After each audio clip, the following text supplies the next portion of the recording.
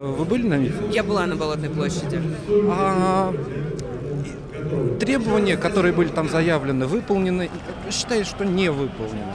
А вот э, ваши требования, вот с чем вы сюда пришли, с какими? Я не хочу третьего срока президента Путина. Я хочу э, честные выборы. Э, Я хочу, чтобы... А честные выборы для меня должны...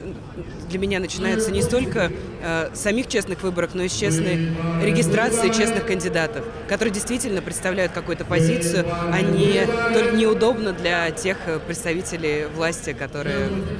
Давайте, я могу переговорить. Да нет, нет, ну, нормально. Маш, и дальше планируете выходить? Да, я планирую выходить. Я думаю, что главное отличие между, э, между теми между Болотной площадью и проспектом Сахара стоит в том, что тогда люди вышли, им важно было собраться, им важно было выйти. Сейчас они вышли, потому что они хотят соблюдения, исполнения их требований.